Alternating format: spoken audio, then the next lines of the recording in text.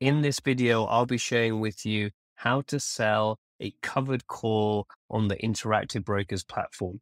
And for this example, we'll be using Meta platforms where you can see that I currently own 135 shares with an average price of $141.36.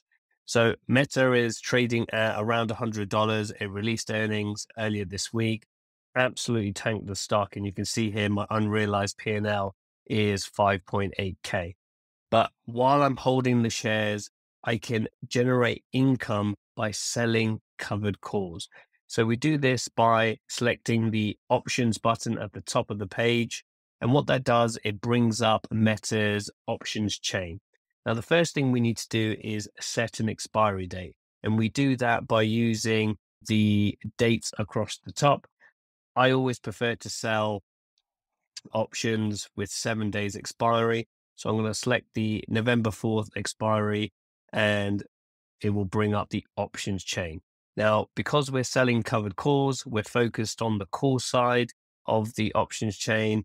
And just to show you, I think my average was what 140, 141. So if I go all the way up to 140, 141, which is, you know, 40% away, as you would imagine when this loads, I can still get $4 premium, which I'm very surprised about because I really do not think that Meta is going to go up by 40% in seven days. So I'll be taking a little bit of a risk and selling covered calls below my cost basis. Now, this is not something that I recommend uh, inexperienced or beginner traders to do, but I've been doing that for a while as with most people's portfolio that are down this year. I will be doing this. And if Meta does rise really fast, really quickly, I know and I'm comfortable in my ability to manage this actual position. So what I'll do is at the moment trading at 100. I'll go relatively for this sake of the example. I'm going to go and sell a covered call at $115. Now, this means that Meta has to rise by 15% in seven days, which again, with the volatility of the stock these days, it can do that. And I do expect Meta to rise over the next uh, few weeks or so just to regain some of that gap it's created from its earnings. But the price is still far away for me to be able to manage this. Even if Meta jumps to 107, 108, 109, I can manage this position and roll the position up as Meta starts to recover. Or if it starts to recover, it could continue going down. So you can see here that between the bid, ask, and last, I'll get somewhere between 25 to $26. And that's still pretty good to get $26 for a 15% move inside of stock. So what we want to do is because we're selling a covered call, we want to hit sell. And then that brings up the sell order confirmation.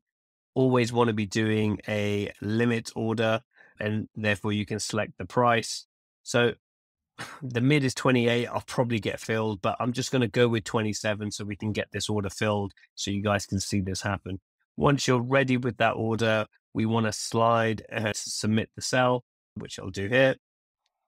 And you can see I've instantly got filled. So I probably, if I wasn't doing this on camera for you guys, I probably would have asked for, you know, 28, 29, 30 dollars. So what happens now is $27 has been deposited into my account and I'm immediately going to buy $27 of Meta, uh, Meta shares.